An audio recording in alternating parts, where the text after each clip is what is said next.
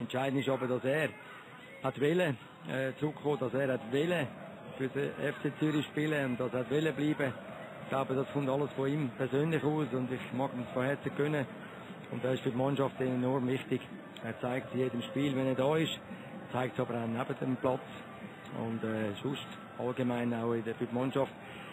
Und das ist natürlich und alles miteinander gibt dann äh, einfach die Leistung schlussendlich, die wir gesehen haben. Christoph Speicher ist wieder bei uns. Er ist auch ganz begeistert von der Darbietung von Davide Giumiento. Also, ich meine, das ist auch. Das ist der eine, aber der Giumiento blüht ja auch so richtig auf. Das ist hier